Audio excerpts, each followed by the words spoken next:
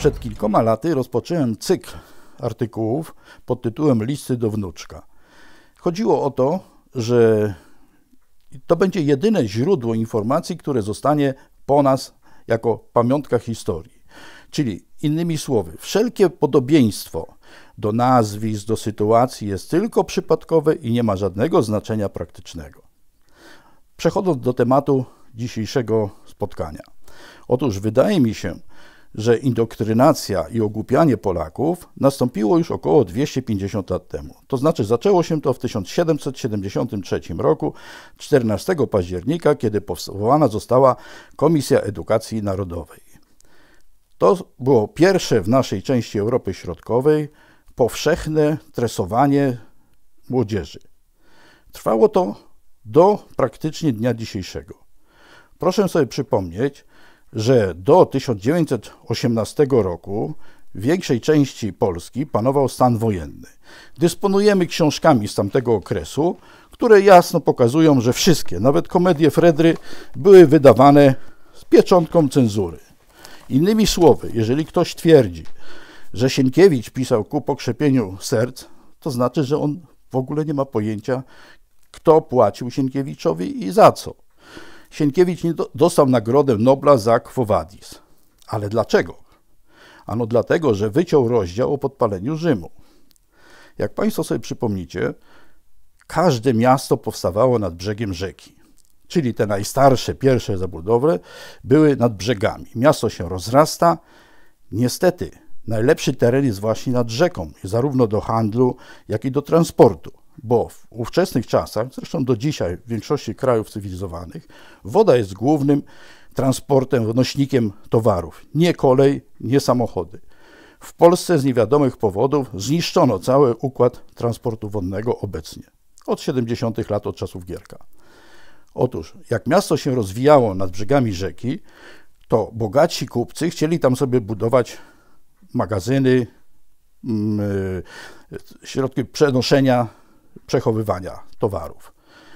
Ale te tereny były zamieszkałe przez biedotę tych wczesnych osadników. W związku z czym trzeba było spalić to, no bo w ten czas nie było żadnego problemu.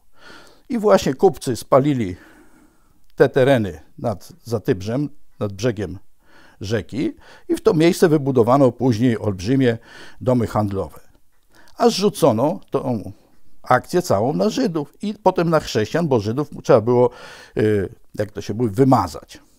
W ten sposób fałszywa flaga po raz pierwszy została na dużą skalę zastosowana, a Sienkiewicz za ten jeden drobny rozdział otrzymał milion rubli od cara i nagrody Nobla.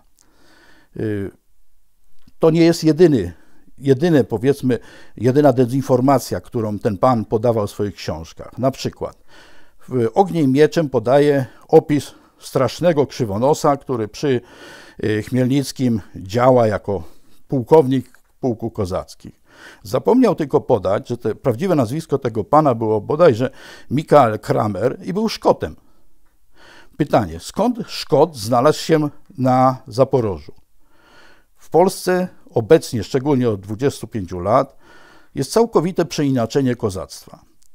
W ówczesnych czasach kozacy to byli zbiegli, no, można powiedzieć wprost, uciekinierzy spod y, sideł kata, którzy tam się chowali i tworzyli coś w rodzaju legii cudzoziemskiej. Były dwa rodzaje kozactwa. Kozactwo zaporowskie, to była głównie piechota, i kozactwo dońskie, to zbiegli chłopi pańszczyźniany z Rosji moskiewskiej. To, co my mamy później, w XIX wieku, ci kozacy, którzy niszczą naszą młodzież y, mordują powstańców, to są kozacy dońscy. W tym czasie Zaporoże już nie istniało jako kozactwo. Natomiast dziwnym trafem pan y, Chmielnicki jest uznawany za przywódcę y, powstania, chociaż sama nazwa mówi, że powstanie to jest przeciwko okupantowi. A w tym czasie ta część Ukrainy, czyli Zaporoża, czyli Dzikie Pola, należały do Polski i król Polski obojętnie jaki był, był oficjalnie i legalnie wybranym władcą. Czyli to był normalny rokosz. Pytanie, skąd nagle w tym Zaporożu, w tej Sitrzy, która miała w granicach 3 do 5 tysięcy ludzi, znalazło się 50 tysięcy rozmaitego rodzaju autoramentu yy, mężczyzn. kto im zapłacił za broń i przede wszystkim za proch, bo wszystkie młyny prochowe były państwowe. I możemy to udowodnić w sposób jasny. Otóż w 1596 roku, kiedy Zygmunt Waza został królem polskim, to był król Szwecji, ale jednocześnie to był lennik Habsburgów, czyli cesarz, świętego cesarstwa rzymskiego, narodu niemieckiego. I oczywistym jest, że realizował politykę niemiecką, a nie polską. Najlepszym dowodem tego właśnie były kontakty młodego Władysława IV, czyli syna króla Zygmunta, który przez trzy lata jeździł po dworach europejskich. Do tego stopnia był bawidamkiem, że nawet w okresie postu w Wenecji organizowano mu specjalne zabawy, żeby chłopiec mógł sobie pochulać. Ale owocowało to tym, że poseł wenecki czy genuński z walizką złota przyjeżdżał do Polski i opłacał kozaków, tworząc prywatną armię. Oczywiście szlachta, znając sytuację, zmusiła króla do rozwiązania tej armii. Przyczyna była prosta. W czasach tak zwanych wazów i wcześniej Polska doskonały handel prowadziła z Turcją. Turcja miała około 2,5 miliona kilometrów kwadratowych, czyli generalnie była o ponad 150% większa od Polski. Miała około 20 milionów ludzi, czy 25 nawet, a Polska w tym czasie miała niecałe 8 milionów ludzi. Czyli jakakolwiek walka Polski z Turcją była bez sensu. Mało tego, mieliśmy dwa porty na Morzu Czarnym i tymi portami zaopatrywaliśmy w żywność cały basen Morza Śródziemnego, bo tam się walki toczyły, a wiadomo, że wojsko potrzebuje jedzenia. O tym wiedzieli także Wenecjanie, dlatego że Turcy, y, chcąc swoją armię utrzymać w szachu, musieli dawać jej zatrudnienie. A zatrudnieniem dla armii w tych czasach był rabunek. Bogate miasta były tylko we Włoszech, a najkrótsza droga do Włoch, lądowa, była przez Austrię i Bawarię. I stąd wszystkie zakusy tureckie były na tamtą stronę. Nasze wdanie się w wojny tureckie spowodowało, że straciliśmy dzikie pola i straciliśmy Podole. Y, ten handel był tak opłacalny, że tylko przez jedną komorę celną przechodziło 30 tysięcy byków, y, krów rocznie. Proszę sobie przypomnieć filmy, tak zwane westerny, jak tam przewożą stada 200-500 sztuk, a u nas przewożono stada, które miały po 4 do 6 tysięcy miesięcznie. Ile osób musiało być zatrudnionych, ile osób musiało być zatrudnionych przy rozbiorze tego mięsa, pakowaniu do beczek i potem transportowaniu na całą Polskę, a nawet na Śląsk czy dalej. To wszystko zostało zniszczone przez właśnie politykę Habsburgów, która sobie stworzyła z Polski, y, nazwijmy to, źródło taniego mięsa armatniego, które za y, Habsburga, za cara, cesarza musiało walczyć. Od 1596 roku nie mamy praktycznie żadnej polityki polskiej, tylko realizujemy politykę Habsburgów. I to jest ewidentne, dlatego że po wazach na tron polski zasiadł Sobieski, który niestety był lenikiem także Habsburga ze względu na otrzymany spadek z ziem śląskich, a potem byli Sasi, którzy byli także lennikami Habsburgów i realizowali ich politykę. Potem były rozbiory, czyli edukację w Polsce prowadził Wiedeń, Berlin albo Petersburg. I tak było do 1918 roku. Po 1918 był krótki okres przerwy w masowym ogłupianiu Polaków, ale tylko częściowo, to zaraz wyjaśnię. A od 1945 roku na czele państwa polskiego był albo pułkownik NKWD, znany w Polsce pod nazwiskiem Bierut, potem był y, Gomułka, agent Kominternu od 1932 roku, potem był pan Jaruzelski, yy, nie, przepraszam, pan Gierek, agent Kominternu od 1936 roku, potem był pan Jaruzelski, Margules, Wolski czy Słuckin, potem był Icek Dickman, potem był pan Stolzman-Kwaśniewski, potem był pan Buzek, czyli Karol, informacja wojskowa, czyli GRU. I w ten sposób wszystkie tytuły naukowe profesorów zawsze podawali ludzie, którzy mieli jak gdyby dwóch panów. Opłatali jednego z jednej strony i z drugiej. Wracając do wcześniejszych czasów. Otóż to ogłupianie czy przedstawianie nieprawdziwej historii było celowe, dlatego że w ten sposób można było łatwo ludźmi rządzić, a jednocześnie zmieniając głównych bohaterów, można było tworzyć nowe postacie. Mamy takich przykładów fikcyjnych bohaterów całą masę, zaczynając chociażby od Janka Krasickiego, e, który w latach 70. E, pan Gierek, agent Kominternu, na medalu wybił i rozdawał te medale licznie, bo ponad 7 czy 8 tysięcy zostało rozdanych. I jak wiemy, w 90. latach, kiedy już udowodniono, że to był podwójny agent NKWD i Gestapo, nikt medalu nie zwrócił, bo każdy zatrzymał go na pamiątkę. W związku z czym nie możemy żądać, żeby młodzież znała historię prawdziwą, jeżeli wciąż wykładowcami są ci sami ludzie. Ani po 20 roku nie zmieniono systemu edukacji, ani po 45, ani tym bardziej po 90 roku. Mało tego, po 90 roku wprowadzając system testowy, jeszcze bardziej ubezwłasnowolniono ludzi, dlatego że całkowicie wyeliminowano kreatywność, całkowicie wyeliminowano sposób myślenia poszczególnych studentów czy uczniów, a kazano im tylko i wyłącznie łączyć punkt A z punktem B, czyli normalna tresura. I podam to teraz na przykładzie ostatnich, powiedzmy, 20 lat tak zwanych katastrof lotniczych. Pierwsza katastrofa, którą znamy, to był rok 1983, KL 007 koreańskich linii lotniczych, który rzekomo został zestrzelony y, nad Syberią. Otóż w internecie można znaleźć wspomnienia z tamtego okresu dwóch żołnierzy NKWD, którzy przyjmowali ten samolot. Samolot wylądował na tajnym lotnisku na Syberii. Rozdzielono mężczyzn i kobiety. Mężczyźni poszli do jednego obozu, kobiety do drugiego obozu. Y, poza tym szef płetwonurków, który rzekomo miał znaleźć ten samolot pod wodą, podał, że wcale nie w tym miejscu, gdzie rzekomo on miał się znaleźć, bo po strąceniu on powinien spadać ruchem jednostanie przyspieszonym, czyli uderzyć w ziemię, miejscu strącenia, a znaleziono go około 100 km dalej, na niedużej głębokości około 50 metrów i co uderzyło tego płetwonurka, że w samolocie nie było ani żadnych kości, ani żadnych ludzi, ani żadnej walizki, ani niczego innego.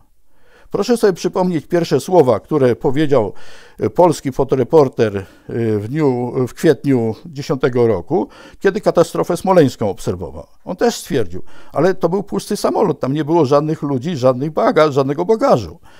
E, ten, że płetwonurek stwierdził, że jest niemożliwe zupełnie, żeby ryby zdążyły cokolwiek wynieść czy, wy, czy zjeść z tam tak krótkim czasie, bo on się znalazł w wodzie już po niecałych 10 dniach od rzekomej katastrofy.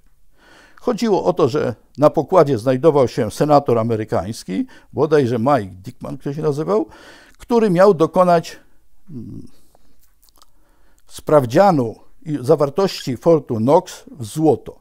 Kiedyś krążą plotki, że tego złota już tam dawno nie ma. Jak pan senator zginął, wszelki ślad po nim także, do dnia dzisiejszego żadnej kontroli Fortun Knox nie zrobiono, natomiast komisja y, niemiecka, która chciała sprawdzić to złoto niemieckie, które się znajduje w Forcie Knox, nie została w ogóle dopuszczona do środka, natomiast otrzymała odpowiedź, że w ciągu 50 najbliższych lat y, złoto wróci do Niemiec. Podobnie inne kraje nie uzyskały dostępu do Fortu Knox. Następna katastrofa, o której wiemy, to była katastrofa yy, tak zwana 9.11, uderzenie World Trade Center. Proszę zauważyć, że wszelkiego rodzaju dyskusje na ten temat są zupełnie błędne, bo wszystkie podają tylko i wyłącznie różnice w sposobu rozwalenia się tych budynków. Natomiast żadna nie podaje przyczyny i dlaczego tak się stało. A to jest istotne, bo stare prawo rzymskie mówi, patrz kto bierze korzyść z danej rzeczy. Otóż cztery dni wcześniej Zgromadzenie Ogólne ONZ wezwało do bojkotu towarów Izraela. No to dla tego kraju by był wielki cios. Jednocześnie w dwa dni później już wprowadzono w Stanach Zjednoczonych liczne przepisy prawne, tak zwany Patriot Act, który ograniczył w sposób istotny możliwości samodzielności obywateli. Obozy Fama powstały w każdym stanie i y, gromadzono tam już ludzi. Podobno w tej chwili już w tych obozach mieszkają ludzie zamknięci, którzy otrzymują wyżywienie, ale nie mają prawa wyjścia poza teren zadrutowany. Czyli rodzaj łagrów, tylko bez bicia pałkami. Prawdopodobnie, bo nikt jeszcze stamtąd nie wyszedł i nie powiedział tego. Także sam techniczny przebieg tego, co pokazywały filmy, jest literacką fikcją jest montażem. Dlatego, że każdy to wie, kto chociaż troszeczkę oglądał filmy z I czy II wojny światowej, że skrzydło samolotu przy tej prędkości po uderzeniu nawet zwykłą linkę balonu odpada. W związku z powyższym, gdyby rzeczywiście jakikolwiek samolot uderzył, to skrzydła by musiały odpaść i spaść na dół. Paliwo w samolotach znajduje się w skrzydłach, w związku z powyższym nie mogłoby się wlać do środka, tylko by spaliło się lecąc w dół.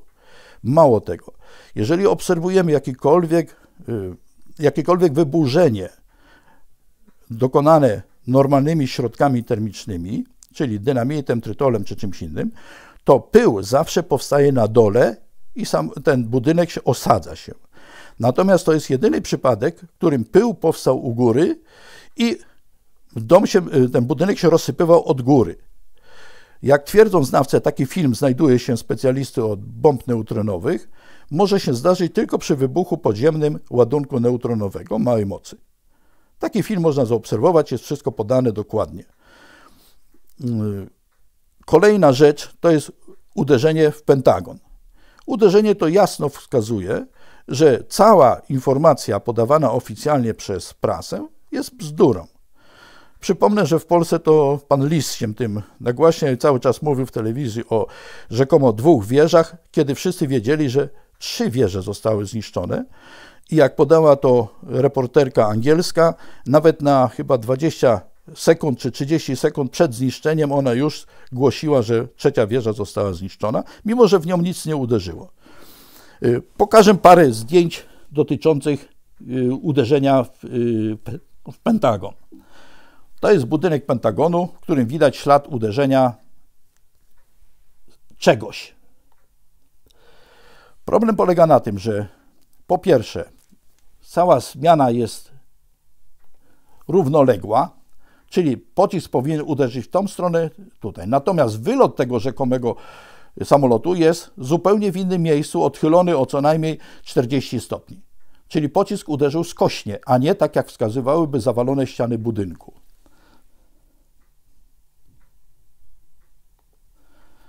Wielkość. Zawalenie się tego fragmentu budynku nastąpiło dopiero po przyjeździe Straży Pożarnej, czyli kilkadziesiąt minut po samym wypadku. Proszę porównać, tu jest samochód taki zwykły dostawczy, prawdopodobnie elektryczny, który ma nie więcej niż 3 metry wielkości, natomiast otwór pomiędzy budynkami ma około 6 metrów wielkości. W żaden sposób nie może to korelować z samolotem, bo samolot ma 50 metrów szerokości i podobnie skrzydła musiałyby zostać na zewnątrz. Jak wiadomo, żadnego śladu samolotu w tym wypadku nie znaleziono.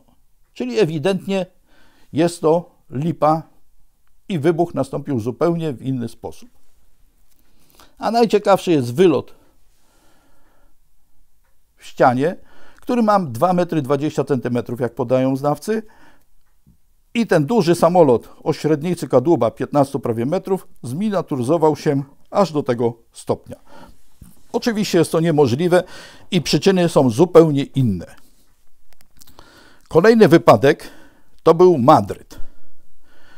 W Madrycie wybuch na stacji yy, kolejki spowodował śmierć prawie 200 osób. Najciekawsze jest to, że podobnie jak w World Trade Center nie zaaresztowano ani jednego yy, z tych terrorystów, natomiast stwierdzono, że to zrobili Arabowie i wszyscy zginęli w trakcie yy, walki z policją. I proszę to zapamiętać, bo to jest charakterystyczne Czecha. W wszystkich tych wypadkach terrorystycznych zawsze te, rzekomi terroryści giną w starciu z policją. Kolejny wypadek to był Londyn. Yy, miał on miejsce 7 lipca 2005 yy, roku. Yy, pamiętam wypowiedź jednego z Polaków, który znajdował się y, w metrze, że komandosi angielscy już trzy minuty później znajdowali się na placu. Na czym polega problem? Nawet jeżeli to były manewry jakieś i wojsko było przygotowane, to synchronizacja tego typu, że w trzy minuty po wybuchu już komandosi lądowali helikopterami na danym terenie, jest praktycznie niemożliwa. Mało tego, policjant zastrzelił Argentyńczyka, mając go przyduszonego do ziemi. Oczywiście chodziło o to, żeby był tak zwany sprawca, ale żeby nie zdążył nic powiedzieć. Bo przecież celem działania policji jest dowiedzenie się, kto opłacił tego człowieka i dlaczego on to zrobił, a nie zamordowanie jednego, bo wiadomo, że przyjdzie następny, chociażby jego brat, który będzie chciał pomścić go. Kolejny wypadek smoleński, który też przedstawię, to jest samolot Tu-154. Proszę zauważyć wielkość samolotu, wielkość silników, ogon i koła, bo tylko te części znaleziono w Smoleńsku. Nie znaleziono ani jednego fragmentu, który byłby większy. Ten sam tu 154 i tylko te koła, które znaleziono. Ten cały kadłub, łącznie z kabiną pilotów, wyparował. Kolejne zdjęcie tu 154. Znaleziono tylko ten malutki fragment i ten silnik. Nawet nie znaleziono stateczników. Nie mówiąc o całym kadłubie. Jest to bardzo dziwna sprawa, praktycznie niemożliwa, bo niemożliwe jest wyparowanie takiej olbrzymiej części, czyli 54 ton z aluminium. Dane techniczne.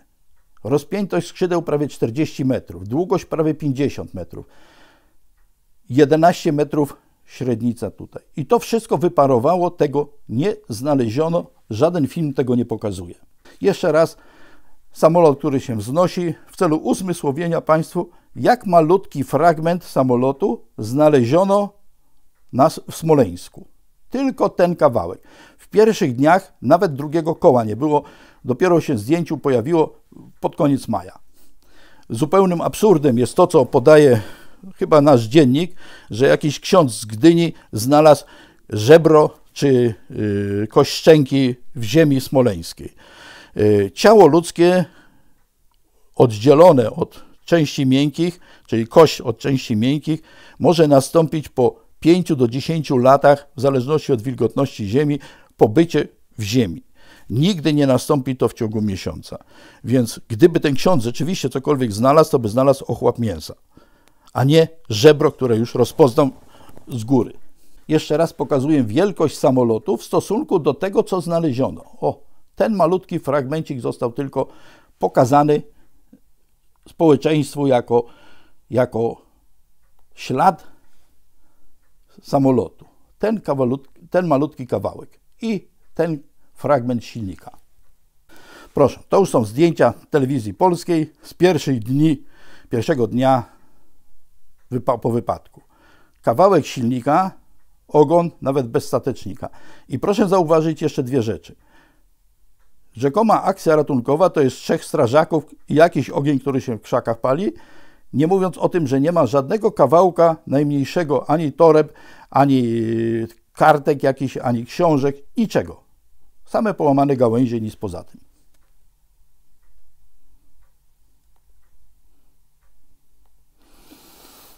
Jeszcze zbliżenie. Brak jakichkolwiek bagaży, stary zardzewiały silnik. A przecież ten samolot dwa miesiące wcześniej przeszedł kapitalny remont. A tu widać wszystko, że to jest rdza. Niemożliwe, żeby takie coś latało jeszcze. Trzy koła rzucone, brak zupełnie innych części.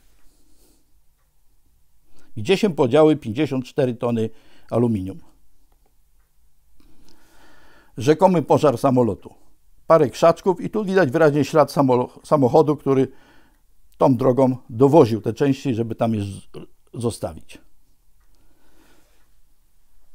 Równo obcięty fragment tylny i kawałek silnika.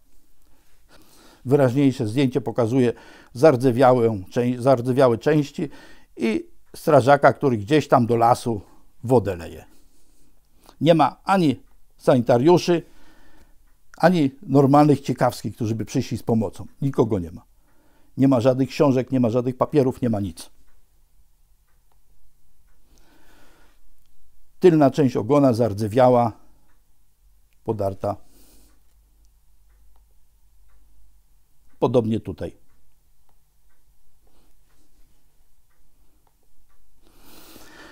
Dwa tygodnie później nagle w tej części, którą poprzednio pokazywałem, była pusta, znalazły się jakieś rzeczy.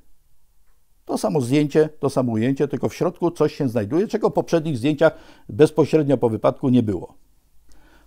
Następne zdjęcie. Widać wyraźnie, że coś wrzucono do środka, czego w poprzednich zdjęciach z kwietnia nie było. Kawałek fragment drzwi. Widać zardzewiałe, dawno nieużywane.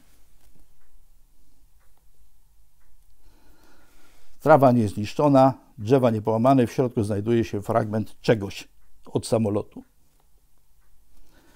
Fragment zardzewiały, poniszczony, czego nie było też na poprzednich zdjęciach z kwietnia. Rosyjska telewizja pokazywała posprzątany równy fragment terenu znajdującymi się tymiże złożonymi częściami. Dlaczego im się chciało zagrabić cały teren, żeby nie było żadnych śladów? Nie wiadomo. No i oczywiście, jak w każdym tego rodzaju insynuacji, kwiaty i zmartwiony człowiek. A to zdjęcie jednoznacznie wskazuje, że to była, był spektakl zrobiony dla telewizji. Wzięto młodych żołnierzy, policjantów, którzy mieli tworzyć rzekomą brygadę ratowniczą. Widać, że wszyscy mają jednoznaczne pojęcie o tym, co się dzieje i wiedzą doskonale o co chodzi. Żadnych ratowników, żadnych pogięte, równo obcięte fragmenty wskazujące, że zostało to przywiezione na miejsce wypadku. Strażnik, który przychodzi, ogląda, widać, że to jest świeżo ścięte równo i jeden fragment położony, drzewa pod ciężarem się złamały. Podobnie tutaj. Widać, że drzewo zostało spiłowane równiutko piłą, a nie żadne złamane. Tutaj jest wyraźnie równoległe cięte piłą, czyli komuś zależało na tym, żeby to ściąć. Widocznie przeszkadzało w transporcie samochodu do przodu. I proszę zauważyć, że nagle miesiąc później na betonowym placu znalazło się o wiele więcej części, których nie było poprzednio. Mało tego, nadal nie ma całego kadłuba samolotu.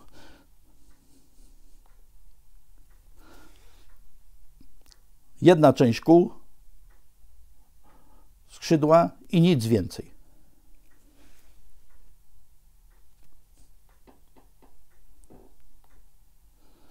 A teraz pokazuję podobny wypadek samolotu, który miał miejsce w tym samym roku. Wypadek podobnego samolotu, który miał miejsce dwa tygodnie wcześniej pod Moskwą. I widać, że cały kadłub samolotu znajduje się łącznie z niewybitymi szybami yy, kokpitu. Także rzekomo uderzył w drzewa i ściął, ale cały samolot jest nienaruszony. Wypadek tureckiego samolotu. Cała, cały kadłub samolotu, wszystko się znajduje na miejscu, nic nie zginęło, nic nie wyparowało. Proszę zobaczyć kadłub ludzi, jaka ilość ludzi znajdujących się, udzielających pomocy. A w Smoleńsku nie ma nikogo. Dwóch gapiów przypadkowych stojących oddali. Inny wypadek w Libii. Proszę zobaczyć, jak zarzucony teren jest różnymi odpadkami, głównie kartki, jakieś papiery i jaka liczba duża jest ratowników dookoła. Wszędzie leżą papiery, kartki, ubrania. Ten sam samolot libijski, który się rozbił. Proszę zobaczyć, jak nierówno brzegi obcinane są. Ile tutaj znajduje się różnych rzeczy, które pasażerowie normalni przewożą. To samo.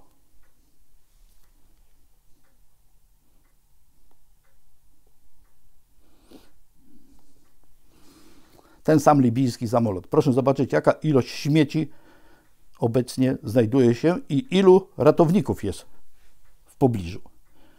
W smoleńskiej katastrofie, gdzie rzekomo wszyscy czekali na przylot pana prezydenta i delegacji polskiej, znajduje się dwóch strażników. Nic więcej, nikogo więcej nie ma. Pusta droga. Ani śladu samolotu, dwa ogniska. Widać wyraźnie, że paliło się tylko w lesie. Poza tym teren jest czysty. Jeszcze raz pokazuję katastrofę w Tripoli, w Libii. Pełno śladów papieru i innych części. No i oczywiście samolot smoleński, od razu trumny się znalazły, tylko dziwne, dlaczego wieczorem i w nocy, kiedy cały dzień jeden i drugi można było to fi filmować, bo podobno już o godzinie 15 było rozpoznanie. Liczba zdjęć wzrastała w kolejnych tygodniach po wypadku. Już w czerwcu pokazano tego rodzaju zdjęcia, na których znalazły się kukły osób rzekomo leżących. Na czym polega problem?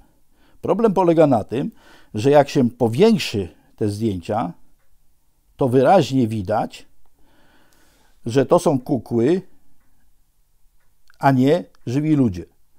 Dlatego, że bezpośrednio po wypadku ręka nie jest sztywna i nie wisi w powietrzu, tylko opada na dół, a tutaj wisi podniesiona do góry. Podobnie tutaj. Poza tym te osoby są ubrane w walonki.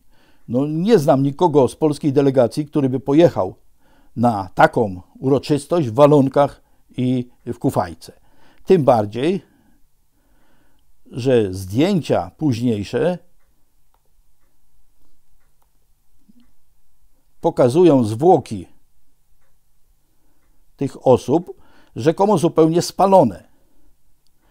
No jeżeli zwłoki były spalone, o, tutaj widać wyraźnie tą kukłę powijaną w jakieś bandaże, leżące butami zupełnie nie noszonymi w Polsce i zwłoki, które już pojawiły się 10 rzekomo o godzinie 15, równo układane, ale proszę zauważyć, że te, ten materiał, który są owinięte te zwłoki, jest spalony, a przecież pierwsze komunikaty donosiły, że na przykład zwrócono w Gdańsku pewnej pani mundur jej męża cały, tylko z zerwanymi pagonami.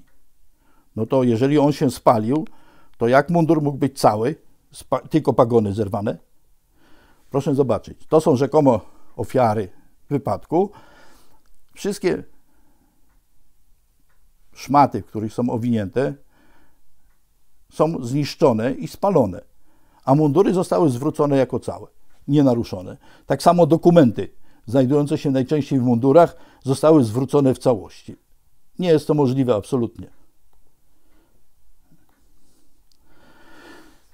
A to jest samolot rosyjski. Wszystkie szyby zachowane, wszystko w całości. Nie ma śladu rozerwania, tak jak pokazano w Smoleńskim, równo obciętych. Łamie się przypadkowo w różnych miejscach.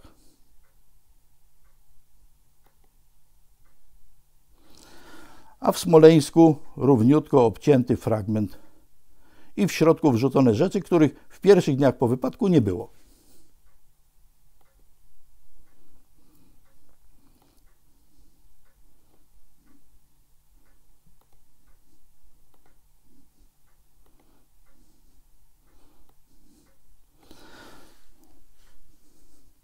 Trzech ratowników, ułożone tak jak samochód przyjechał i zrzucił to na ziemię, części i żadnego śladu jakiegokolwiek zaangażowania służb ratunkowych. A już kompletnym, kompletną dezinformacją jest pokazanie jako wielkiego zdarzenia kawałka błony celuloidowej, kiedy w 2010 roku praktycznie w Polsce już się nie używało, nawet w małych miasteczkach, filmów z błonami, bo wszyscy mieli elektroniczne. Y, pamiętam jeszcze kilka y, tygodni wcześniej, jak się chwalono, jakie to super aparaty y, posłowie posiadają. Więc podrzucenie takiego zdjęcia no ewidentnie świadczy o tym, że to jest katastrofa, która była zrobiona na zamówienie, to znaczy zdjęcia zrobione na zamówienie, a wcale nie miały mieć nic wspólnego z prawdziwym wypadkiem. O tym, że wypadek był, jest fikcją, najlepiej świadczą zwłoki. Otóż w pierwszych trzech dniach yy, osoby, które z Polski jeździły na identyfikację zwłok, na przykład pani Ani Walentynowicz, mówiły wyraźnie, że ona leżała tak, jakby spała. Tego rodzaju postawa czy forma będąca tam prosektorium świadczy o tym, że pani Walentynowicz zmarła na atak serca, a nie w czasie katastrofy. Tym bardziej, że ekshumacja dokonana w 2014 roku wykazała, że zwłoki były poszatkowane, y, właściwie nie wiadomo co znaleziono w tej trumnie, którą odkopano. Najciekawsze było natomiast coś innego. W Gdańsku znajdują się dwa zakłady medycyny sądowej i nie wykonano sekcji w Gdańsku, tylko przewożono ją do Bydgoszczy, tą trumnę.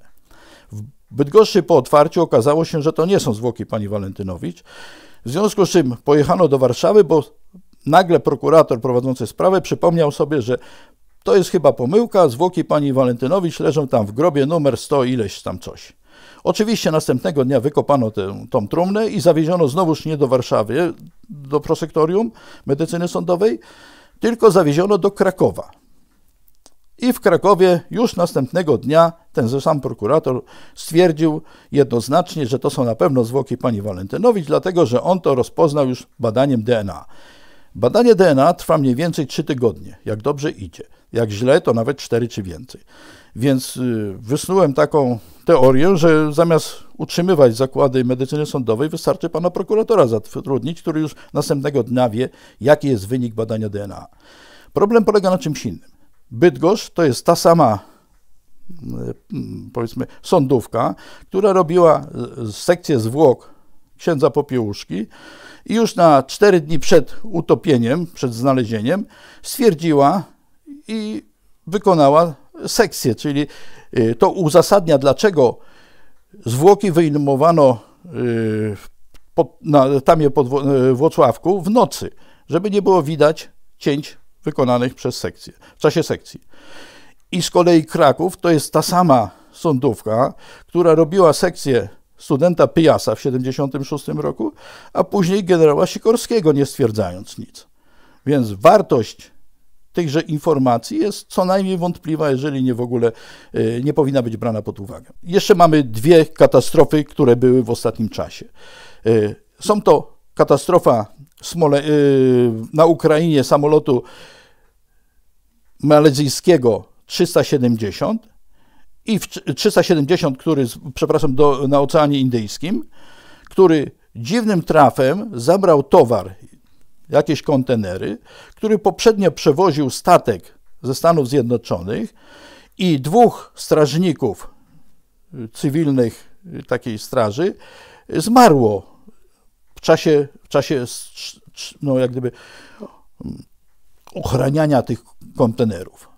Więc pytanie jest, co takiego przewożono, że y, trucizna wydostała się, czy tam bakterie wydostały się spoza y, zamkniętej klap kontenerów.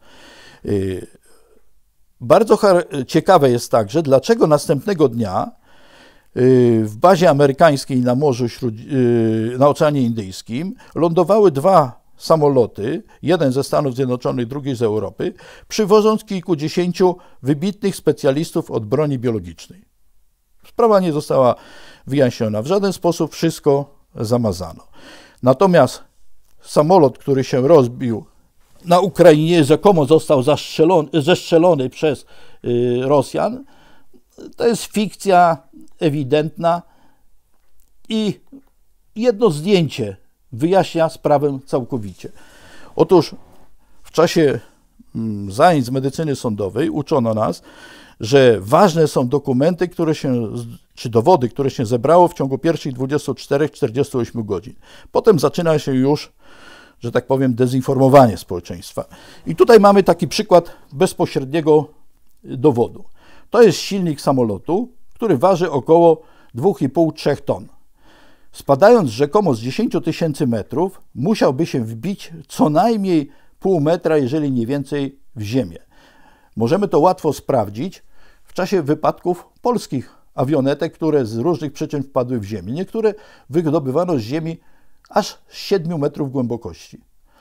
Jeżeli mała awionetka potrafi się wbić w 7 metrów w głąb, to taki silnik oczywiście musiałby się też wbić. A tutaj widzimy kawałek blachy stalowej i silnik jest oparty o tą blachę, a blacha się nawet nie zgięła.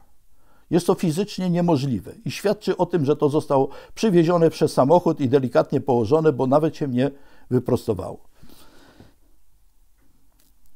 Czyli cała teoria o tym, że rzekomo jakiekolwiek działania wojskowe zniszczyły samolot, który tamtędy przeletował, jest fikcją literacką, bo nie ma na to żadnego dowodu materialnego. To samo możemy stwierdzić o ostatnim y, wypadku na Synaju. Zdjęcia, które udostępniła oficjalna prasa, wskazują jednoznacznie, że takiego wypadku tam nie było. Znaczy, co się stało z samolotem i z ludźmi, nie mam pojęcia zielonego. Natomiast zdjęcia pokazują, że żadnego wypadku nie było z tego samego powodu, co tak zwany wypadek smoleński. Proszę zauważyć, leży jedna część samolotu, a wokoło jest czysty, suchutki piasek. To zdjęcie najlepiej dokumentuje sprawę. Proszę zauważyć, że one są położone, wszystkie te części, równiutko tak jakby samochód tutaj przejechał i z burdy przerzucono wyrzucono po prostu części na, na piasek. Nie ma wokoło śladu nawet ani torby, ani bagaży, a przecież ci ludzie byli tam na wczasach, czyli z, musieli dość dużo rozrzucić rozmaitego sprzętu, zabrać sobą i ten sprzęt powinien się znajdować rozrzucony. Proszę zobaczyć, to jest rzekomy wypadek na Synaju równiutko wyrzucone z samochodu jakiegoś transportowego części znajdują się w linii prostej. Dookoła nie ma śladu. Tutaj widać ślad samochodu, który przyjeżdżał, natomiast nie ma śladu żadnego karteczki, książeczki, yy, no czegokolwiek, co by świadczyło, że kiedykolwiek tutaj byli ludzie. A wokoło jest idealna, czysta pustynia. I kolejne zdjęcie, które potwierdza to. Wyrzucone równo jakieś tam części, grupy y, ludzi, którzy to przywieźli i liczne ślady samochodów, które wskazują, że to po prostu z burty przerzucono na drugą stronę. Wszystkie te, aha, jeszcze jest wspólna dla tych wszystkich y, wypadków rzekomo lotniczych. Zawsze się pokazuje jakiś bucik dziecka, zawsze się pokazuje dowody osobiste czy paszporty rzekomych porywaczy czy rzekomych terrorystów. Czyli cały samolot się spalił, ale jak wiemy, nasze paszporty są ognioodporne i nie ulegają w żaden sposób zniszczeniu. Podobnie jest sprawa, wygląda tak zwanych uciekinierów. To jest zdjęcie, które jest najczęściej przedstawiane w telewizji i w prasie. Rzekome dziecko leżące na plaży tureckiej, które zostało wyrzucone po zatopieniu łodzi. Proszę zauważyć, że część, czyli nóżki są sine, natomiast reszta jest różowa. Niemożliwe to jest, jeżeli by zwłoki były dwa dni w wodzie. Mało tego. Absolutnym sprzeczne z prawami jakimkolwiek fizyki jest, żeby zwłoki były równolegle, yy, prostopadle do fali, do brzegu. Fala wyrzuca zawsze równolegle, dlatego że nosi w całości, a nie tylko w jednej części.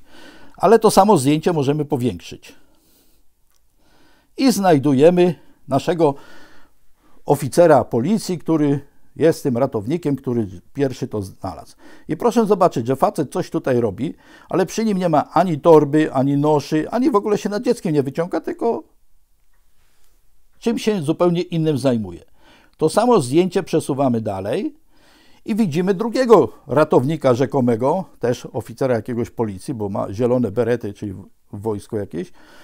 I też ma zamiast torby ratowniczej czy noszy, aparaty fotograficzne i torbę z, y, fotograficzną. I jeszcze ciekawsze, że na tej samej plaży znajdują się osoby cywilne, które nie wiem, czym się zajmują tutaj jakieś, patrzą się w każdym razie w zupełnie inną stronę. No nie wyobrażam sobie sytuacji, żeby dużą rybę wyrzucono może na brzeg, a ludzie by się stali i patrzyli i nikt by nie przyszedł zobaczyć z bliska, co to jest.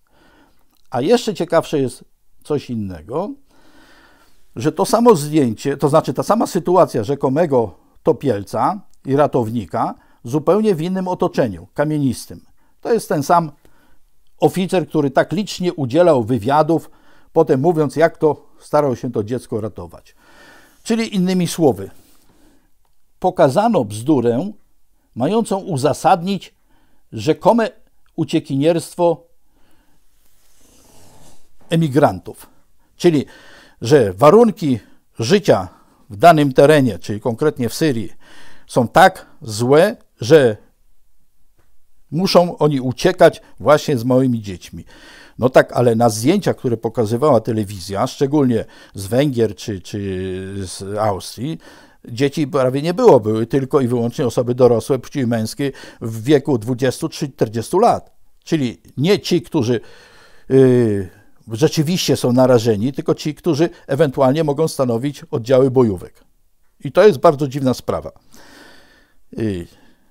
Podobnie zresztą były ostatnie dwa wypadki w Paryżu. Ten w stycznia, gdzie był zamach na redakcję, która rzekomo jakieś tam e, zdjęcie czy rysunek przedstawiła. Zabito kilkanaście osób, e, ale paszport tego zamachowca znaleziono w samochodzie nieruszony. I podobnie dzisiaj, w czasie wypadku 13 listopada, znaleziono od razu sprawców jako islamistów. Na czym polega ciekawostka tego zdarzenia? Otóż proszę zauważyć, że cała prasa, zarówno ta oficjalna, czyli wielkonakładowa papierowa, właścicieli niemieckich pod amerykańskim zarządem, jak i rzekomo niezależna prasa internetowa, cały czas przedstawia religijny powód ataku. A o ile ja wiem, to od 100 lat, jak zaczęły się tak zwane zamachy na różne osoby, na przykład cara Mikołaja czy, czy Aleksandra, to zawsze wybierano przywództwem tego kraju, ewentualnie osoby, które są w jakiś sposób związane, a nie bezmyślnie rzucano bomby w tłum. Nawet ostatnio, jak y, w Sarajewie podaje się zastrzelenia y, księcia, y, arcyksięcia Ferdynanda, to zastrzelono jego, a nie rzucono granat w tłum oczekujących czy przepatrujących się ludzi. Czyli innymi słowy, motywacja typu, że zamordujemy gdzieś tam kilkadziesiąt osób, to coś się zmieni, jest bez sensu. Tak, tak przynajmniej przez ostatnie 200 lat nigdy nie było. Dopiero po World Trade Center zaczęły się mordowanie ludności cywilnej przypadkowej. O tym świadczy także tak zwany maraton bostoński. Dokonano wybuchu kilku bomb domowej roboty, ale jak udowodniły to zdjęcia przedstawione, dokonali tego agenci yy, służb specjalnych. I na zdjęciach może rozpoznać i pokazują w tłumie tych agentów, wszyscy ubrani podobnie, wszyscy mający te swoje bluzy z naramiennikami. Czyli wcale nie chodziło o to, żeby zwrócić uwagę, tylko chodziło o to, żeby wprowadzić przepisy zaostrzające yy, kontrolę społeczeństwa. Proszę zauważyć, że wyboru wybuchu tych bomb dokonano w centrum Paryża, w pobliżu katedry Notre Dame. Tam każdy praktycznie sklepik posiada kamerę. No i jakimś dziwnym trafem zainstalowane za wiele milionów dolarów kamery w żadnym wypadku nie pokazują stanu faktycznego. Zarówno w Pentagonie kamery wszystkie zniknęły, y, do dzisiaj filmów nie ma. Przy y, World Trade Center także nie ma żadnych kamer, chociaż przygodni świadkowie zauważyli tam różne dziwne y, samochody filmujące to zdarzenie. Podobnie w Paryżu. brak zupełnie dokumentacji filmowej, mimo że powinna w tak ruchliwym mieście, miejscu znajdować się, no, zatrzęsienie tego powinno.